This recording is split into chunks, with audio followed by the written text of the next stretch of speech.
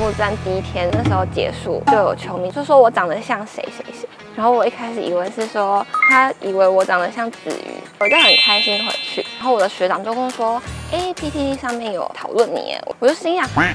是高佳瑜，球迷跟我讲的怎么不一样？我就想说，嗯，真的很像吗？这是立伟高佳瑜，这是魏全龙小印，一样留着长发，绑着公主头，再加上大大的眼睛，连脸书系统都判读提醒高佳瑜可能有你在内的相片，连本尊也傻眼，发文自嘲。好多人问我何时开始兼职职棒啦啦队了。提文曝光后也引来大批网友朝圣，甚至还敲碗希望两人能合体演出。Hello，中时新闻网的朋友们，大家好，我是 Dragon Beauty 小龙女小印。一开始其实我是因为要考空服员，那时候也上了，但是因为疫情的关系，所以就先暂缓报道。在空窗的空档期中，弟弟就跟我说，哎、有啦啦队在甄选，在那之前就是我先去算塔罗牌，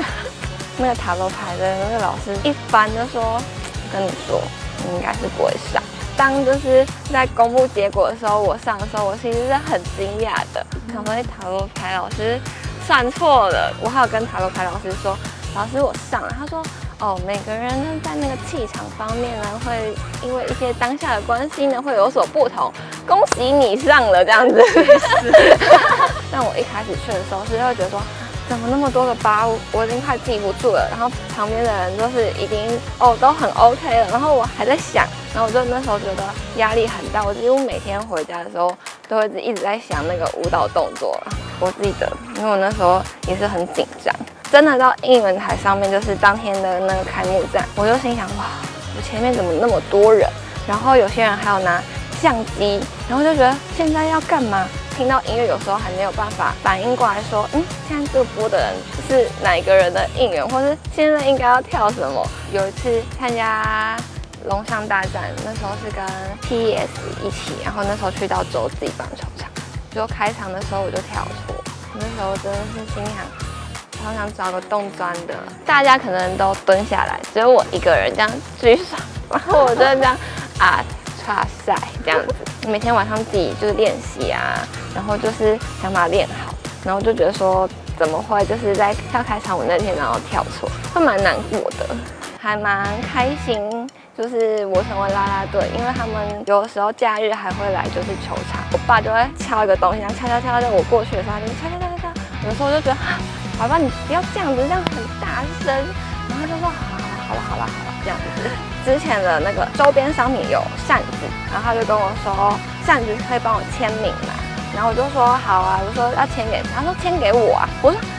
我说你也要签名，他说对啊，我不能留我女儿的嘛，然后我爸就说那你可以祝我永远帅气嘛，我就说啊，你还要给我加字，然后我妈妈还要签青春美丽，我就觉得很奇怪，现在工作也很忙，有时候你知道忙完之后。隔一天又想要赖在家休息一下，就觉得好像自己好像也没有多余的时间去就是认识其他的新朋友之类的。一定要幽默风趣，这好像是女生的必备。然后孝顺，跳起来好看。那有没有哪个球员是你的理想型？我比较欣赏就是郭天信，因为他在接球的时候就觉得蛮帅的，就是他会很奋力的追到最后一刻去接球。有时候可能受伤撞到，我就觉得很敬佩他的这个精神。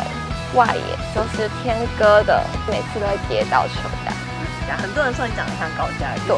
其实我一开始的时候呢还不知道，因为我们在跳应援的时候期间是不能用手机的，然后就有球迷说我长得像谁谁谁，然后我一开始其实听到什么什么鱼，以为是说他以为我长得像子鱼，然后我就很开心，我就说。哦，好，谢谢，谢谢，谢谢，我就很开心回去。然后我的学长就跟我说，哎，PTT 上面有就是在讨论你，我就看一下啊，怎么跟我出来那边球迷跟我讲的怎么不一样这样子？我那时候就吓到啊啊，是高佳宇，就有有点吓到，因为我平常就是没有被人讲过说像高佳宇这样子，像委员。你自己觉得像吗？可能眼睛跟就是苹果肌的地方像吧。然后刚好那天我是绑那个公主头，因为我原常绑公主头，所以就可能就蛮像的。他们也是很常敲完我唱歌，但是呢，煎熬呢，或者是隐形的翅膀呢，对我来讲那个 key 就是有点偏高，可以唱别的。就是要我唱的话，可能一个人会跟委员差不多。我终于看到